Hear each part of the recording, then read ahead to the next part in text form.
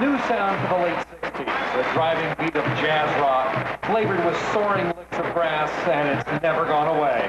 Today, 33 years since the first Transit Authority record, and the 26 numbered albums in between, the Ohio State University Marching Band pays tribute to the band named after the Windy City.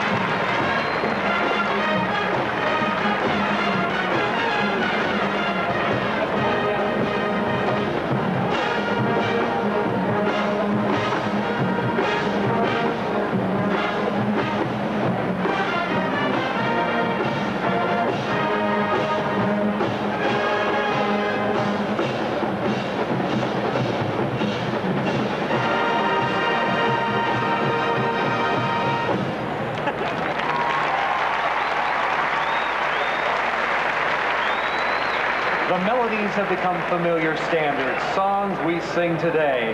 The playful Saturday in the Park, and the musical question, does anybody know what time it is?